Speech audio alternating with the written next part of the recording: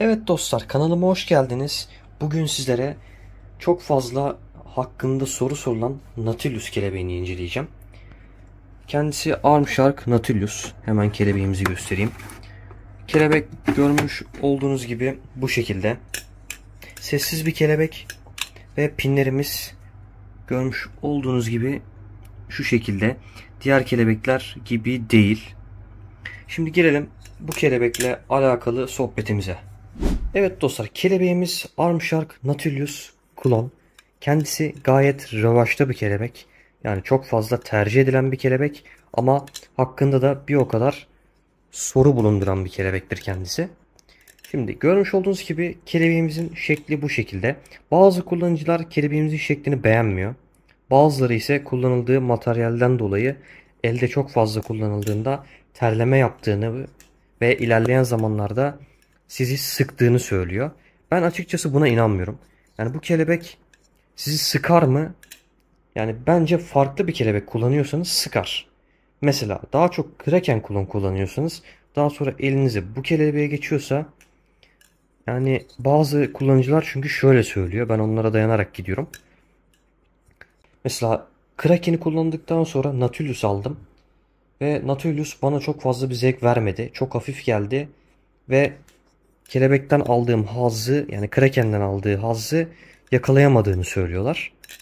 Şimdi ben iki kelebeği de kullanmış biri olarak yani sizlere şöyle bir cevapla geleceğim. Şimdi dostlar Kraken kullanıyorsanız bu kelebeğe geçerseniz bir tık arkadaşların da yaşadığı gibi bir adapte olamama süresi yaşarsınız ve kelebek size zevk vermeyebilir. Ama aksi takdirde Squid'e bir veya daha hafif kelebekler kullandıysanız bu kelebek elinize geçtiğinde bu kelebeğe aşık olacaksınız.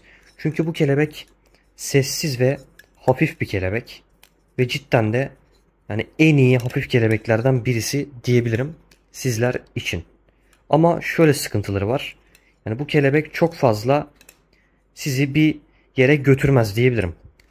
Neden diye soracak olursanız mesela dostlar Kraken'den örnek vereyim. Şimdi Kraken bana göre Nautilus'tan daha mı iyi yoksa Nautilus daha mı iyi diye soracak olursanız ben Nautilus'a oyumu vereceğim. Çünkü bakın dostlar bu kişisel bir yorum. Çünkü ben hafif kelebekleri seviyorum. Ve Nautilus hafif ve dengeli bir kelebek olduğu için ben Nautilus'tan daha çok hoşlanıyorum açıkçası. Ama çoğu arkadaş alüminyum ve daha iyi sesi sahip olan daha oturaklı kelebekler sevdiği için Nautilus'u Kraken'e karşı birazcık zayıf görüyorlar. Ve onlara da yani haksızlık yapamam. Herkesin kişisel kendi zevki. Ama şöyle bir duyum var.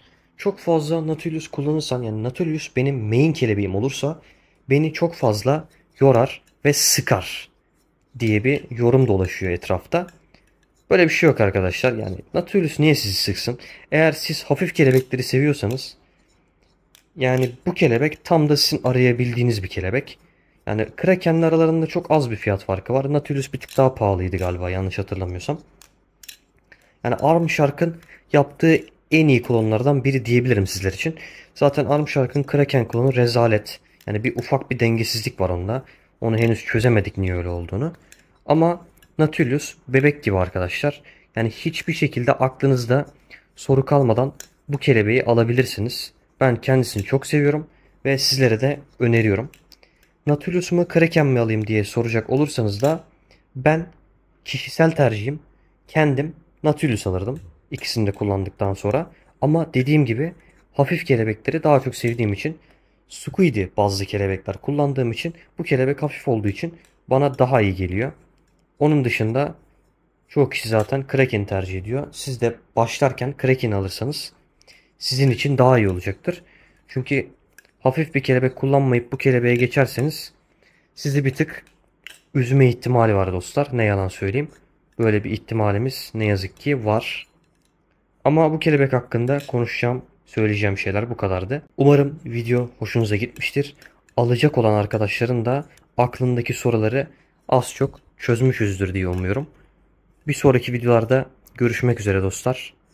Hoşçakalın seviliyorsunuz.